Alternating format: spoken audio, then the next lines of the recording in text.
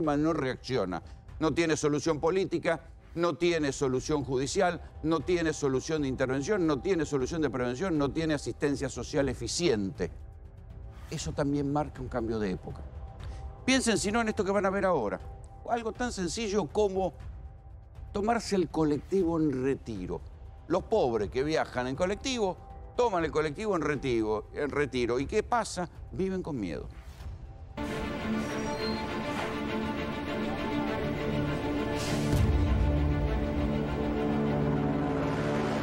Anochece aquí en Retiro y la situación se torna muy pero muy complicada por los arrebatos, por los robos.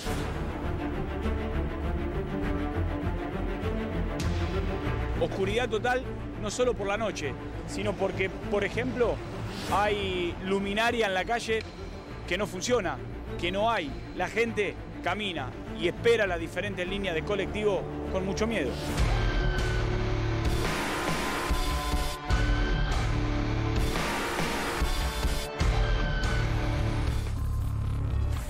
Esperando el colectivo. Sí. Eh, ¿Se espera con un poco de temor cuando se viene la noche aquí en Retiro? ¿Hay miedo? Sí, sí, sabes que sí, nunca vi esto. Nunca. la primera vez que vengo después del COVID y la verdad que es un bajón tremendo. No me imaginé una cosa igual. Mucha situación de calle, mucha gente descuidada en muchos aspectos. Tenemos que tener la cartera, todas las cosas así, porque tenés miedo que te roben, que te arranquen.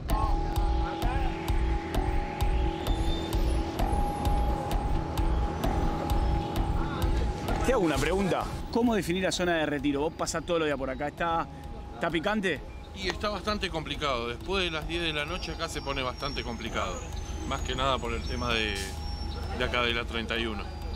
¿Y, y la gente, los pasajeros, te dan, te cuentan algo, te dicen algo, ves algo? Los pasajeros están eh, bastante alerta, no, no sacan el celular porque saben el tema de, de los arrebatos que hay. ¿Te ha pasado a lo mejor ver... eh, Sí, sí, sí, me ha pasado de por ahí estar acá eh, subiendo gente y mismo ahí en la cola eh, sacan el celular. ¿Pato? Eh, el celular y se mete para el lado de, de la 31.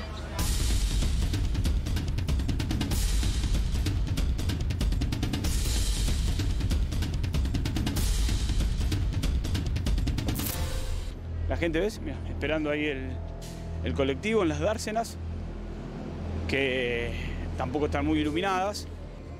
Tierra de nadie. Así te lo definen los propios vecinos de, de Retiro. Maestro Cortito, Sí, amigo, amiguito. ¿se trabaja con miedo? Sí, amigo, se trabaja con miedo. amigo. ¿Sí? Mucha delincuencia, amigo, acá. ¿Mucha delincuencia en la calle? Sí, mucha delincuencia en la calle. Pero viste muchos, muchos casos de robo, de arrebato. Sí, de arrebato, robo, todo. Todos los días hay eso. Esta es la entrada peatonal a la estación Retiro, la estación de micros de larga distancia más importantes que tiene la Argentina.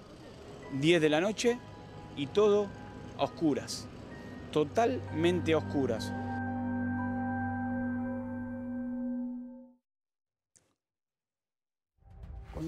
Piensa en la inseguridad, cuando uno piensa en estas cosas que les estuve contando esta noche, en estas tres postales, uno dice, bueno, ¿cómo se va diseñando por necesidad la nueva agenda electoral? Por eso les digo que hay muchos que están pensando que lo que viene es un cambio de época. Ya Cristina dijo, no, no voy a ser candidata, ya dijo, no voy a ser candidato. ¿Puede Alberto Fernández con estos números de pobreza en el conurbano ser candidato? ¿Alguien lo vota? O sea, ¿alguien del propio justicialismo o del propio conurbano va a alentar una candidatura de Alberto Fernández con estos números de aumento de la pobreza? Un presidente que no venía a esto, que se va a pasar dando eh, explicaciones de por qué no pudo hacer lo que dijo que venía a hacer. Pero más allá de quien vaya como candidato, que en definitiva es irrelevante, lo que se está diseñando es una agenda que a su vez habla de un cambio de época, el del cierre de un ciclo. Porque en materia de inseguridad el sistema fracasó. El combo de sistema policial, judicial, eh, prevención, falta de prevención, fracasó.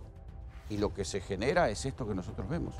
El, cruce, la ineficiencia, la mezquindad política entre administraciones genera estos disparates, como por ejemplo lo que sucede en la zona del Retiro, donde hay partes que las administra el gobierno nacional, parte las administra la ciudad de Buenos Aires y no se ponen de acuerdo en quién tiene que prender la luz. Así de cruel es la cosa, porque las estaciones ferroviarias de quién son? ¿Son de la ciudad son del gobierno nacional? ¿Y la terminal de retiro de quién es? ¿Del gobierno nacional, de la ciudad?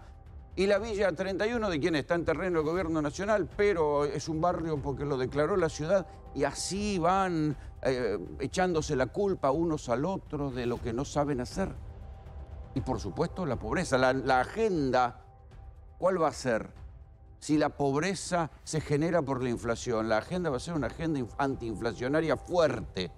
Entonces, los tiempos marcan que lo que viene es una agenda contra la inseguridad fuerte, contra esta inseguridad cotidiana de, que rompe los huevos a la gente, y también una agenda fuerte contra la inflación que empobrece a la gente día a día y también contra la ineficiencia y contra esta manera de echarse la culpa entre las administraciones unos a otros que terminen disparates como este de la terminal de retiro.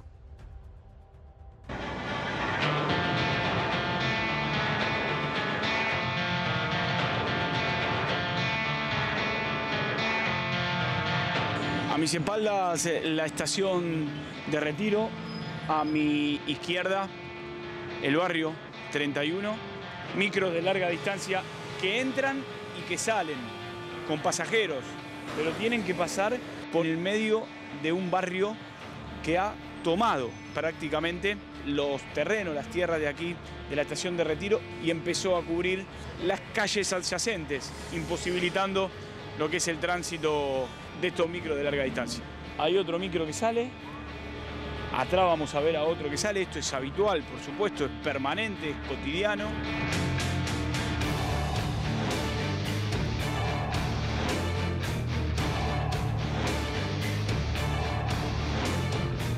Tan descuidado está todo que hay roedores aquí en, la zona. Y miren cómo queda esta calle por donde tienen que entrar y salir los micros de larga distancia. Miren la suciedad que hay, la dejadez, el descuido.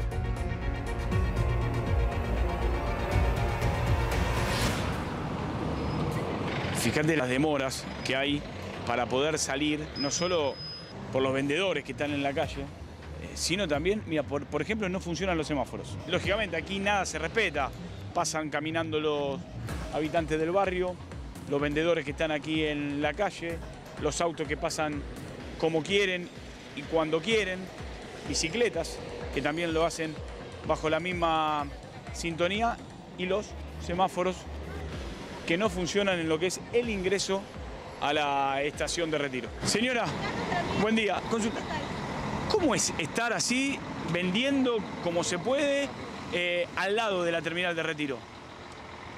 Uno viene, trata de buscar un lugarcito para trabajar y llevarse unos mangos a casa. Eso es lo que uno hace, mayormente se acomoda como puede, ya que todos quieren venir a trabajar, viene uno, se pone, vende sus cosas y venir, trabaja con todo el sol y todo eso, pero...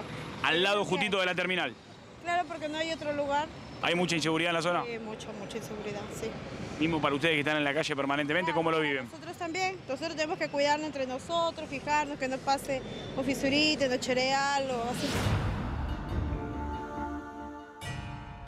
Y a mis espaldas, eh, la calle principal, la que es lindera a la estación de retiro, el barrio le ha ganado las tierras a lo que debiera ser una calle para el ingreso y egreso de los micros. Hay gente instalada, colchones, en plena calle.